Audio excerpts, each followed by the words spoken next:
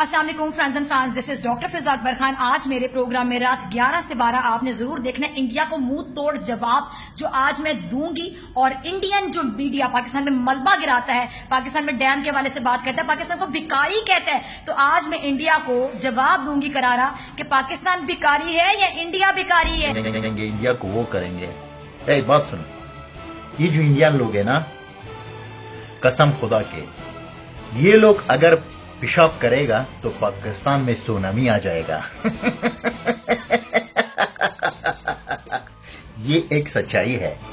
اور دوسرا یہ کہ تو کبھی بھی اپنے آپ کو انڈین کے ساتھ کمپیئر مت کرنا۔ انڈیا کہاں پہ ہے؟ آپ لوگ کہاں پہ ہیں؟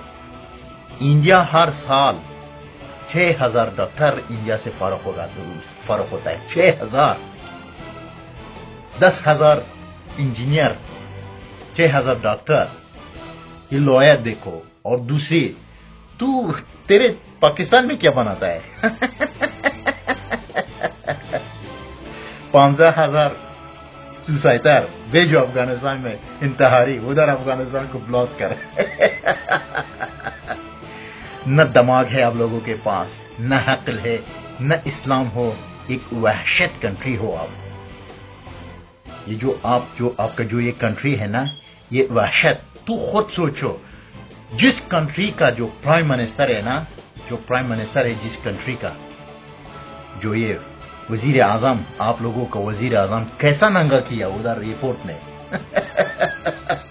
اس کا اندر بھی کمرہ ڈالا چیک کیا کہ اس میں کچھ لایا کہ نہیں؟ برا لگا برا لگا، برا لگتا ہے، میں بہت کڑوا بولتا ہوں۔ خود سوچو۔ وحشت، ذلت آپ لوگ کرتے ہو پیر، یہ کتے لوگوں کو چھوڑ دیا ہم پر، پھر گالی گلوچ، اس کو گالی دے، اس کو گالی دے، کیا ملے گا ہاں؟ جتنا جو تم نے اتنا پیسے کو ویسٹ کیا، جو یہ یہ سوسائٹ کو سوسائٹ جو تربیت دیتے ہو، ادھر جو فیکٹری ہے، ادھر سوسائٹ بناتے ہیں، وہی پیسے کو لگاؤ، اپنی سڑکوں پہ لگاؤ، اپنے بجلی پر لگاؤ، اپنا جو عوام ہے، غریب عوام پہ لگاؤ کہ پاکستان ایک اچھا کنٹری بنے، بن جائے گی سمجھ گئے؟ ایسا تو نہیں کرو گے نا، کیونکہ آپ شیطان ہو، شیطان شیطان کی دماغ کا، شیطان کے دماغ جو ہے، اس میں ایک اچھا کام کیسا آئے گا؟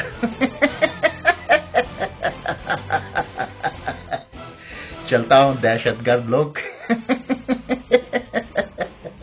امی کو سلام بولو اور دعاؤں میں یاد رکھنا۔ پھر ملیں گے نیکسٹ ایپیسوڈ